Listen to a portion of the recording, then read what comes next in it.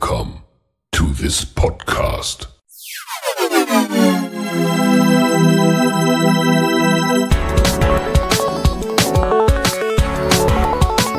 Water Polo Expert Talk. Get the insights.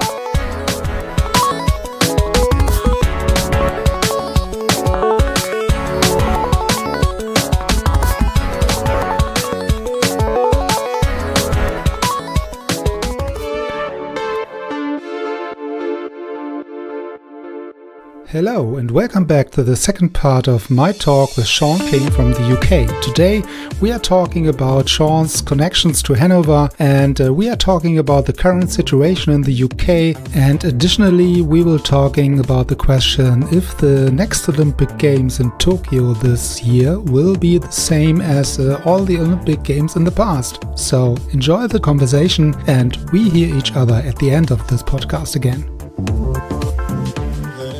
Um, so, um, are there any any things you can um, yeah give give your young athletes right now in your daily or day to day job uh, with them, um, saying, okay, based on your experience, uh, I would uh, maybe make this decision or that decision, or what what are really the the pieces you can can give the the, the young kids with them right now, based on your experience? Yeah, so I, I'm really for. I obviously I, I, I work with kids from loads of different sports. So uh, obviously water polo is my baby, if you like. But but I coach rugby, I coach cricket, I coach loads of different sports. So yeah. I think like yeah, the, so the, the, the, the typical the UK, the typical, very typical of uh, uh, U, yeah, yeah, UK sports. yeah, absolutely. So I think the biggest thing for me is is um, the experience I had playing abroad traveling abroad with the national team. You know, um, I'll use the boy that's in White Sharks Hanover as the as the as the example. I remember his parents calling me and being really worried, like really worried what what I would think, as in whether I would go. Absolutely not. I, there's no way that I want him to leave. You know, and of course, of course, I didn't want him to leave. But at the same time, I guess what an opportunity you know, for yeah, like yeah. To, for, to, for, for him personally, right, to oh, develop himself as a as a 15 year old boy, to immerse yourself in a different culture, you know, to learn a different language, to to be able to train and the sport he loves mm-hmm. twice a day, sometimes three times a day with Vuk, who I, I know you you had Vuk on, I think before. Um, yeah. it's it's for me that's the biggest thing is I say to them when I talk to the kids, I'm just like, look, like sport opens so many doors, you know, and the people that you meet are lifelong friendships. Like, so look, through sport alone, I mentioned Andre Josep is a very, very good friend of mine. Uh, Vjeko Kobeshek in Jug mm-hmm. Dubrovnik is somebody I idolize, to be honest, but is also a really good friend now. We've become really, really good friends. You know, I've been introduced to guys like Vuk as a result of knowing Vjeko and Andre. So it's all of that has come through sport. So my thing is always look, the, the, work hard. When you think about sport, you know everybody that made it was the were the ones that worked hard, not necessarily the most talented. You know, mm-hmm. it was the ones that it was everything. You know, they were constantly learning, they were constantly pushing themselves, they were constantly analyzing how they could improve, but also just seize those opportunities. You know, particularly while you're young and when you're studying, really take the opportunity to go and experience a different culture, learn a new language you know, because they're the people you're keeping touch with for for the rest of your life. Yeah, so. yes, I, I think uh, most of the people are talking into the in the podcast saying, okay, when when I have the opportunity to play for the national team or also for a top team in Europe, um, I really create uh, my own network during the, the active career, uh, which is very helpful after the active career. Yeah, as yeah. you mentioned, yeah, that you yeah, go in touch with people, you can benefit from your your networking, uh, um, try to to get something across. So it, it's really then the be beneficial situation. Yeah, that you create your your own network during your active career. Yeah. Yeah. So and uh, both of you or both parties or both sides really yeah have the have the benefit from these kind of connections from me, as in, and and I know we're talking specifically with him. The way he's welcomed uh, Pierre has just been amazing, you know, and that's my biggest fear, you know, was was how mm-hmm. he loves the sport. I want him to come back loving the sport, you know, and there's absolutely no doubt that the way that he's been treated by Vuk and by White Sharks, he's going to come back and and, yeah. and want it want it even more. You know, so I have nothing but just just great feeling, you know, for Vuk and and what he's done. You know, and hopefully he might well he might take some of mine in the future again. He might he might want he might want someone else. So uh, we shall see. We shall see. Yeah. I mean, what's what's great as well is I, I think that I think it's I think they are going ahead now. Our our junior national team are coming across. So so Vuk has has organised basically that our our under so our under 19s, our 2003 generation will be coming across. I think in October. Obviously, if everything if everything yeah. continues to head in a good direction, then. But um, yeah, so uh, as you touched on, this is the links. You know that that, that it's it started with a student from my school. You know, to then to then our junior national team coming to coming to train with Vuk and, and the and the White Sharks. So um, it's great. It's a great thing in the sport. Yeah, so you, you mentioned the the the actual uh, let's say not so funny and not so good uh, situation about uh, Corona. What what is the situation in the UK at the moment for you in terms of training, in terms of uh, playing water polo? Is there anything possible at the moment? Because in Germany, it's at least uh, for for the most of the kids and the most of the clubs uh, not really uh, at least able to, to train. So only the top teams and national teams is able to train at the moment. Yeah, I think it's um, so. So currently, uh, anybody under the age of eighteen is able to train. Um, hmm. There are restrictions on what they can do, you know, and as with any uh, the frustration is, is as with anything, the restrictions are in some cases quite grey. So you, they can be interpreted differently. You know, rather mm-hmm. than it being you can do this, you can't do that. There's a little bit of of sort of maybe, maybe you maybe you can this and maybe yes, you yeah. can't this. uh, the biggest problem for us, Andreas, and and it was a problem before before coronavirus. You know, so many of our swimming pools will shut will not reopen, will have repairs from never having been switched off. As mm-hmm. as daft as it sounds, you know, like a lot of these plant rooms have never ever switched off. So to shut them down completely for months, all of a sudden they've got thousands of pounds worth of, of repairs, which that money that's got to come from somewhere, you know. And if they aren't generating income, it's the, yeah. my biggest fear is it's we've been really lucky. My school's been really lucky, and schools have been slightly different to clubs because if you have your own pool, you can you have been able to. When schools have mm-hmm. been in school, you've been able to swim, and we've been really lucky. We've been able to play water polo at my school throughout when we've been in school. Um, but the disparity on what people have been able to do regionally is vast. You know, there yeah. there'll be regions where the swimming pool's still not open. You know, and they will have been able to for a couple of weeks now, but they still cannot host. And then some leisure centres have a differing opinion on water polo and its and its possible transmission in that somebody swimming and only ever using a float or a pull buoy or flippers is is less likely to transmit any yeah. potential COVID. You know, so it's it's messy, but we are in a better we're it's looking brighter. You know, more and more clubs are returning mm. and and able to sw- both swim and play polo. Yeah, so which is uh, yeah, let's say a, a good situation, um, but at the moment in Germany it's not really possible to train because, um, as you mentioned, also in Germany most of the pools are closed. Yeah, so uh, when you have a private pool, you are maybe allowed to to do it with the restrictions, uh, saying okay, you can train with a group of people from four people or 10 people or I don't know. So, uh, big best clubs like Waspo, Spandau and so on. So they have really the, the opportunity to train and to, to play the games uh, in the Bundesliga, but uh, everything under this, it's uh, really yeah. So we hopefully they are not really um, yeah a big number of kids saying okay I, I don't want to play water polo at this at the end of this time or period. Mm. Uh, this is the biggest fear we have here in the moment. So that there are not really, really big number of kids saying, "Okay, I quit uh, the game and uh, let's see what what will happen uh, somewhere else." So um, this is really the biggest fear. I think I think it'd be interesting. I mean, look, certainly from our point of view, um, the desire to play has been great.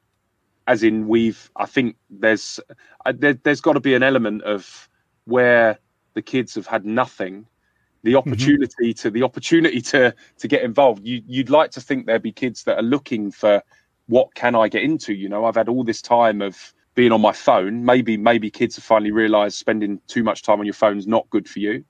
Um, that that we we may pick up some kids, but certainly again, only talking from my perspective, our numbers have been really encouraging. You know, and the fact we've been able to to do water polo within the restrictions we've been getting really good numbers, you know, which which really hopefully bodes well. And I, I hope it's the same, you know. I hope that when things are lifted, there will be this. I'm certainly as a parent, I'd be pushing my kids into every possible club and opportunity, you know, for for a yeah. rest, for a rest. Yeah. So, um, parents, please do, please send your kids to water polo because yeah. because they will love it. They will love it. It's a it's a great sport.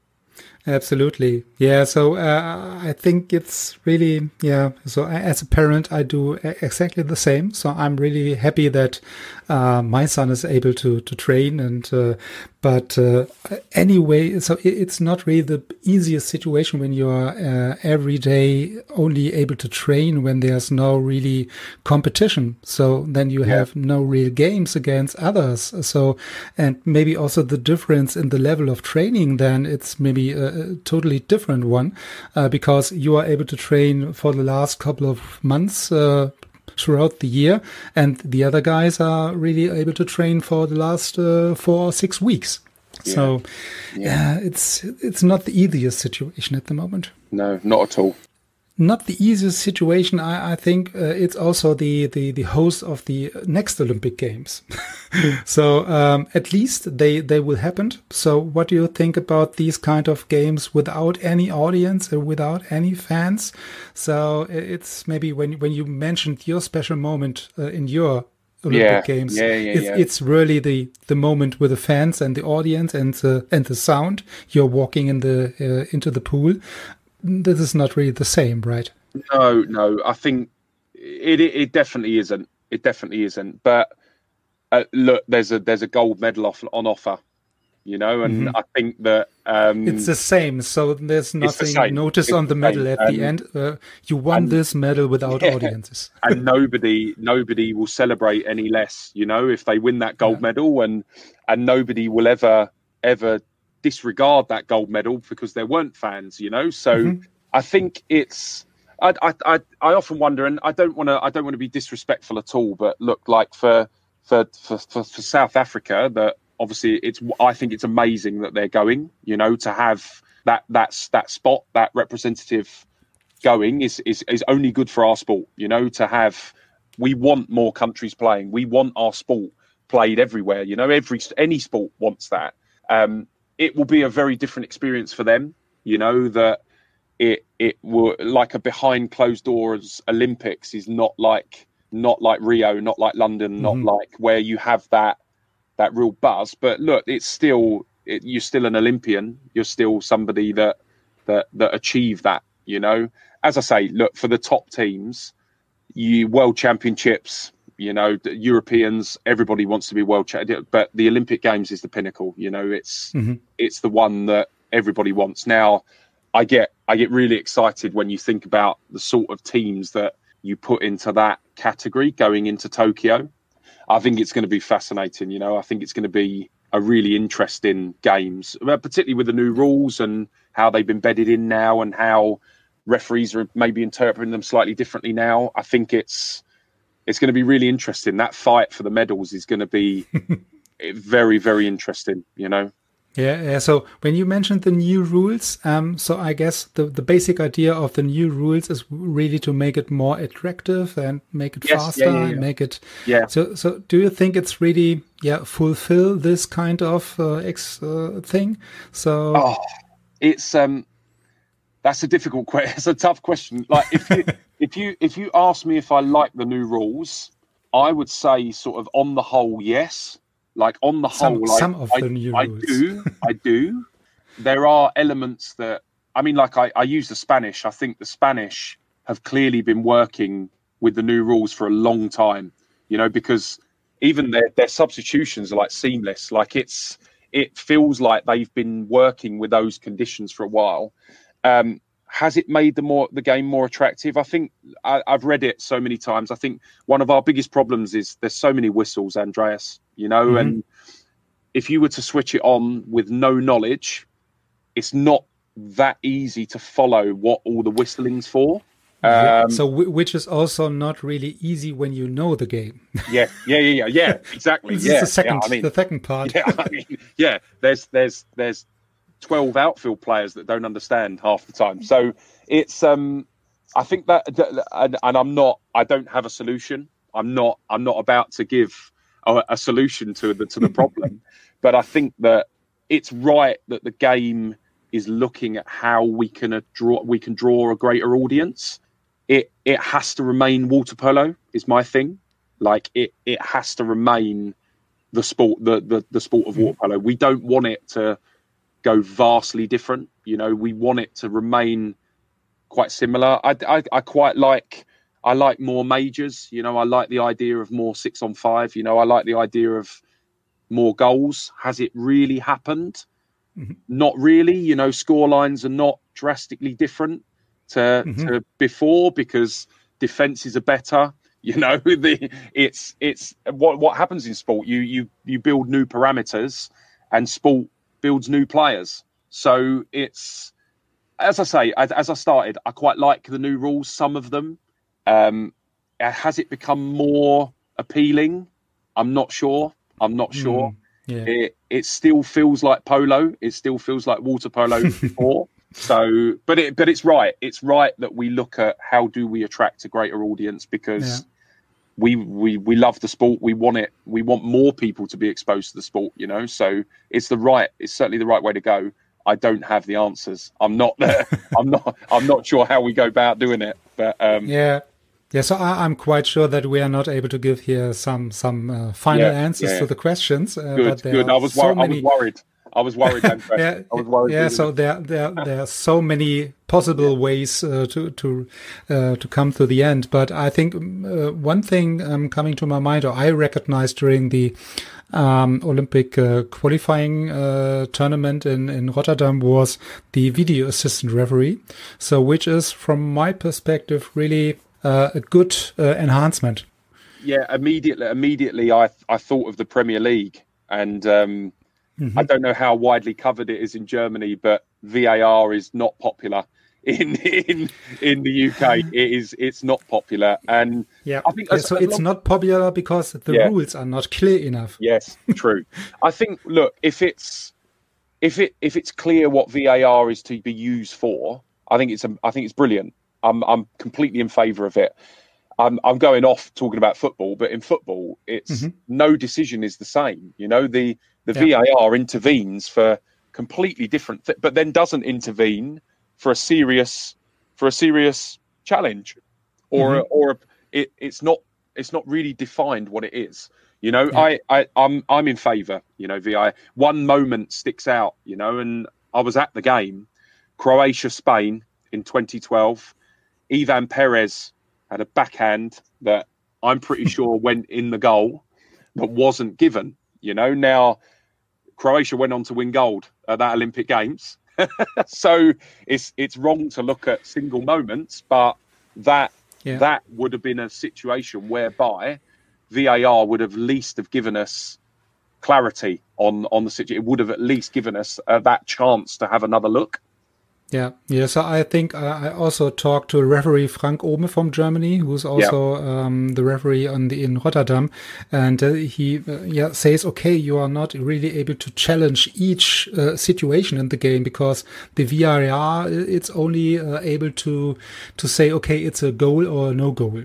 Yeah, So Yeah. any other situation where we have, for uh, for example, you mentioned um, um, in the in the in the football or in the Premier League, for example, where you have, uh, I think more opportunities to to to to go to the to the referee or to the um, video referee and saying, okay, can you uh, please uh, check these kind of situation? Yeah, so I think we we have a quite different situation between the, the two sports. Yeah. Um, but I think in the water polo, uh, as we mentioned before, when you say, okay, you have the, the um, yeah, the, you are sure that that it was a goal, and uh, or you are sure that it was not a goal. So th this makes then at at the end really the big difference between the yeah the two sports, I guess. And as we and as we said a moment ago, look, we want the sport to be more appealing. We don't want we don't want more downtime. So what VAR has done in the in football is made games longer. Mm-hmm. Where yeah, where so we do, 95, 96 minutes. we don't we don't want that. You know, we don't want a water polo where the players are treading water on screen yeah. for. So I think, look, I think I'm I'm for it. You know, I'm for technology in sport, full stop, and we're probably getting it right at the moment. You know, we're getting it right that that is all it is concerned with is is goal or no goal.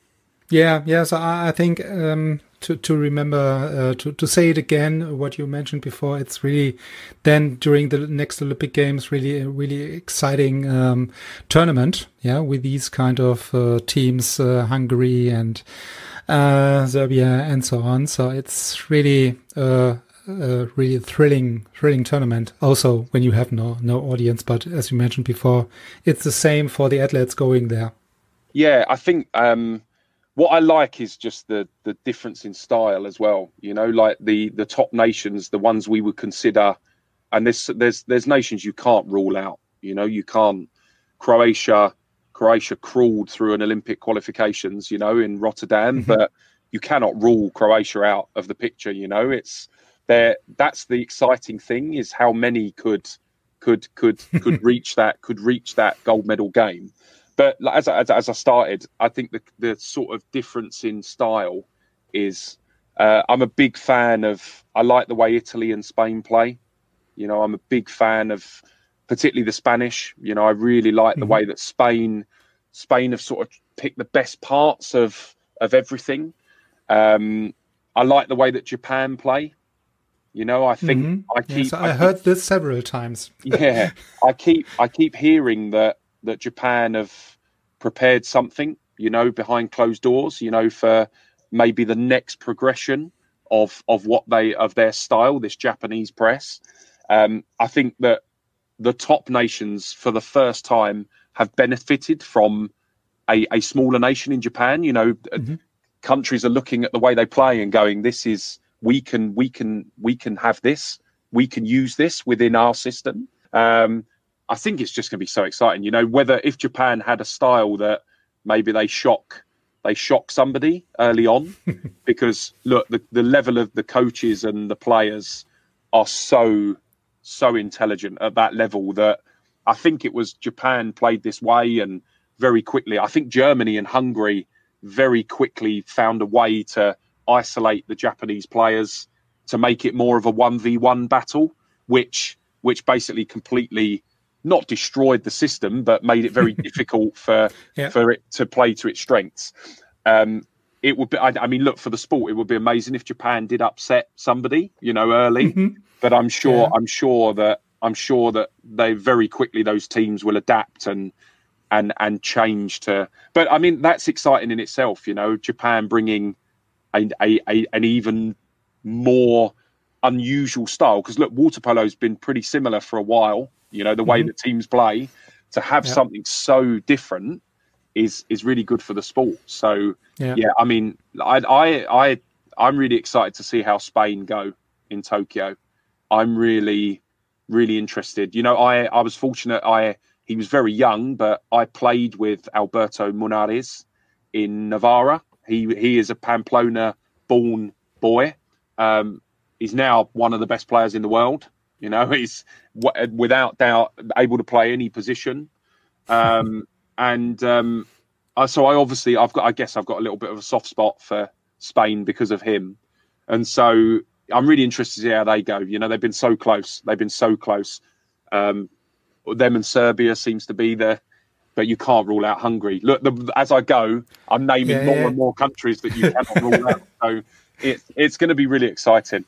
Yeah, so I, I um, the, the, the point you mentioned before that you have to find your uh, yeah let's say to to you have to be different than others yeah? So to to make the change and to to to make the point at the end. So this is really the point coming also from from Tamás uh, um, uh, the the trainer of uh, the Hungarian uh, national team saying okay the the world uh, is so close uh, on the top that you have to find your special thing and special move or special moment uh, to, to, to make really the difference uh, instead yeah. of the others.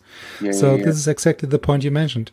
Yeah, I, I, I, I was really fortunate actually. I um, I took part in like a, a, a like a fantasy league for the for the World Championships, which feels which feels and Vuk was involved and uh, Vjeko was involved and Andre Josep was involved and loads of coaches from all over the world, and there was talk that we may do it again in the Olympics. So I really hope so because um, it I it will mean that I watch every game and, and, and and make sure that I've got the strongest roster for each game I possibly can.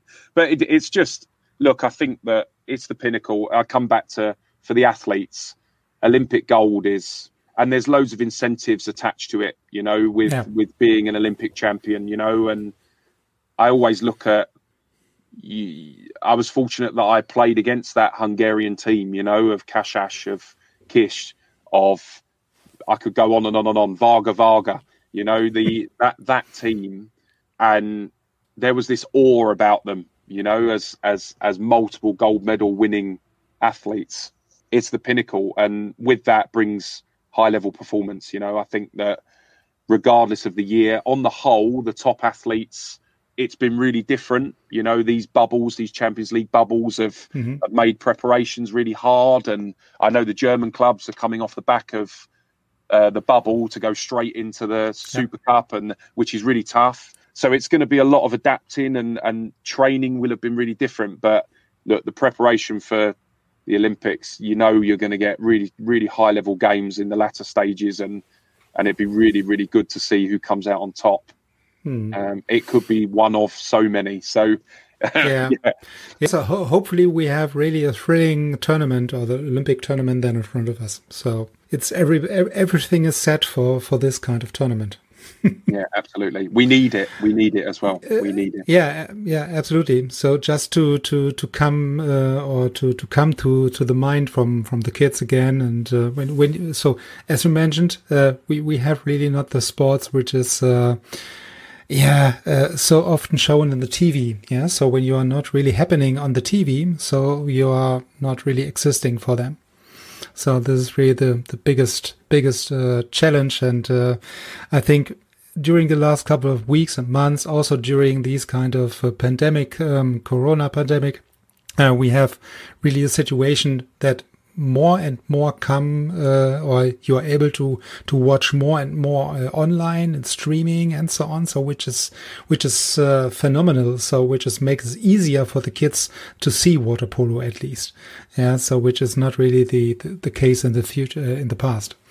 Yeah so. i it's um yeah i think it's that's the biggest thing now you know for particularly now with how people are so literate with software off the back of home learning and it's a mass. I mean, it was a real shame. I think I read the other day that is. It, am I right that the is it Len or Fina TV is is is ceasing? It's not it's not happening anymore, or I could I could be wrong. I could be completely wrong. But uh, to be I think honest, that the streaming I service. I don't know if the streaming service service is going to continue, and they're they're they're platforms that I've watched the majority yeah. of those high level games on you know so yeah. Um, at least the, the the fina tv is uh, i think the one you have to pay and the yeah, uh, yeah, TV, it's uh, it's a free where you can see the champions league and i could be completely as i say i could be completely wrong but i think i read that one was was not going to be mm-hmm. available anymore and that's obviously not that's not great for the sport you know it's um what i like i, I think look and i i've spoke at length with vjeko about this in Jug and they really have an amazing setup in Dubrovnik, you know, and he is he's incredible. He's not just a coach, you know, he's somebody that wants our sport to grow. he is one of the he he just understands the importance of of countries like the UK and playing our sport, you know, and which is refreshing, you know, because sometimes you you think that we're like I start I think I said by we get forgotten a little bit the UK that probably just justifiably because we aren't at that level, but if the sport was big in this country, that would be huge for that would be huge for for our sport. I think like one of the things the clubs have to do is increase their exposure. So those mm-hmm. clubs at the top level, so you're in in Germany, the Spandaus, the the Waspo, the they they need to they need to look into how do we stream these matches? How do we increase yeah. the profile of our players? How do we how do we attract more kids into the sport? You know, because ultimately that's what it's all about. You know, it's you may not be around to see the success you generate if you follow what I mean. So all the work you do mm-hmm. is for the generations that come after, and and that's I think something that the clubs have to do. You know, those top clubs need to. Yeah. How can we sell the brand better? How can we market ourselves better um, to to, uh, to attract that greater interest?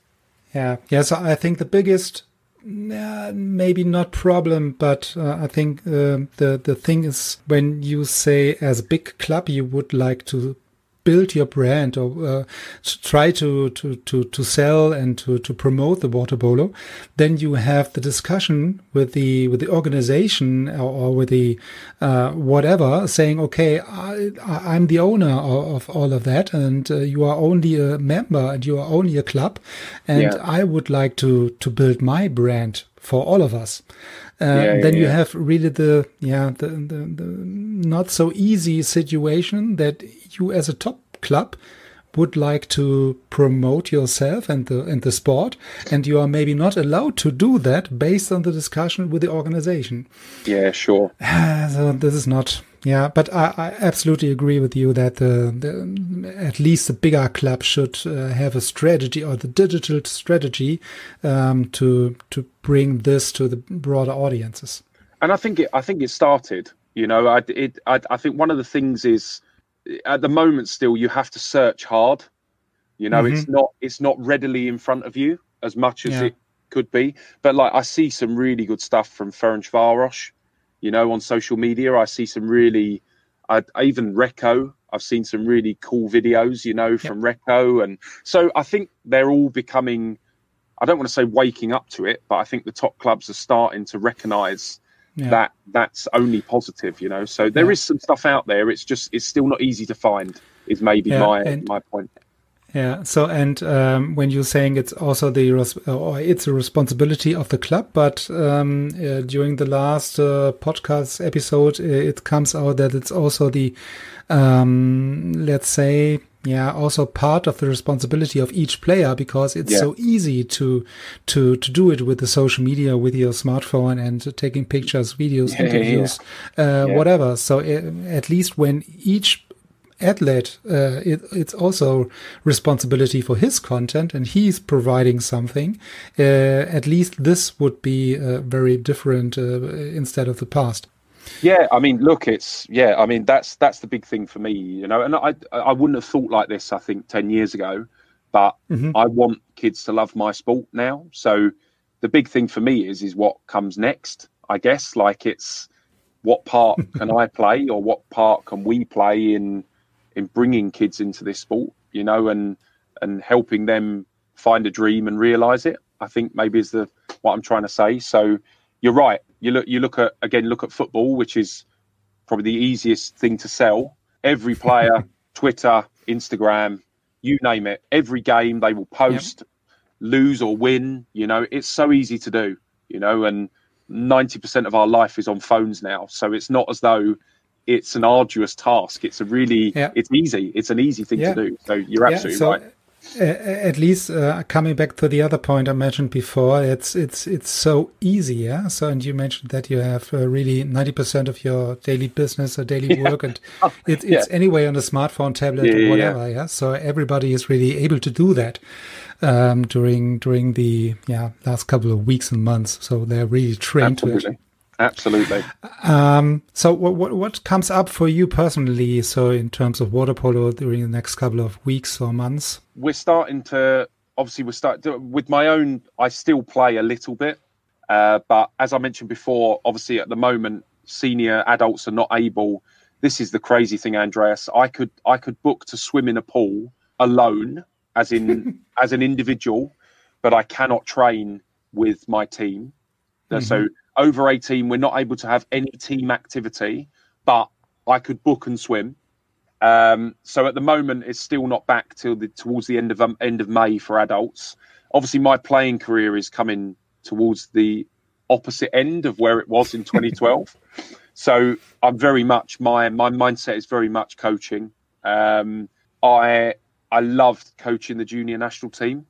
Um, it's it's not only very time consuming with having a young family, but also expensive mm-hmm. because mm-hmm. we are volunteers. Um, I have the desire to return someday. You know, if if I'm fortunate enough to be given the opportunity, I do have the desire to, I think, work with kids again. So the youth sections rather than than the senior national team, more so the the young guys. I think because that's what I enjoy. I enjoy that development side of it. Um, but yeah, at the moment, I've I've been in a discussion with a club about getting involved in their junior section, which which would be really good. So that that's something that might happen in the in the near future. Um, but yeah, as I say, at the moment, it's just building back up to to what normal looks like. so over the next yeah. over the next couple of weeks, it will be the most used word normal at the moment. But um, it's it's just sort of gradually starting to build up to to where we can do do the things we would we took for granted you know b- before coronavirus so mm-hmm. playing games in training and and mm. playing against boys that were older and younger you know that's that's not something we've been able to do for a long time so um, yeah it's as i say i'm very sort of coaching driven now as opposed to playing um, so it, it will be building the guys up again and starting to look mm-hmm. towards mm. our ambitions for for next season great I wish you all the best um, then for, for the development of the young kids, and um, yeah, ho hopefully we can back to uh, go go back to the normal normal. There is it again, the word. yeah, uh, yeah. The, the, the, the normal water polo, polo coaching and uh, playing. So uh, I hope as uh, soon as possible. I wish you all the best uh, for your family. For yeah, stay safe and healthy, which is the most important point at the moment. Thanks for your time. I know, and, and once again, I know I started by saying this, but thank you so much for for having me, Andreas. And you're uh, welcome. Yeah, and really, really, really good to chat about the wonderful sport of water polo. Yep, absolutely. So thanks for for the time again, and uh, yeah, have a nice evening. Thank you. Thank you. Are already at the end again of this podcast episode. Thanks again to Sean for his very um, yeah interesting insights about the water polo boards as such in the UK um, during these days. And uh, yeah, I hope you enjoyed uh, our conversation as well as we did, and uh, I hope you will be on board uh, also in the next episode next week in the um, Water Polo Expert Talk podcast. And this will be then the recording of the live talk we will uh, host uh, this evening on Friday evening. Yeah, I hope you enjoy also these great uh, panel of Europeans, top trainers and coaches, and I will uh, for sure really enjoy this uh, panel discussion in the evening today. Yeah, in the meantime, I'm happy that you enjoy the podcast, uh, that you are growing together with me the podcast, and yeah, I hope this will be happened also over the next couple of weeks and months. And yeah, in this uh, terms, I would uh, like uh, you to share the uh, episodes of the podcast with your network. Send me your feedback. Give me your feedback about uh, the episodes, about the topics, about the participants in the podcast. Yeah, I'm lo- really looking forward for your feedback as usual.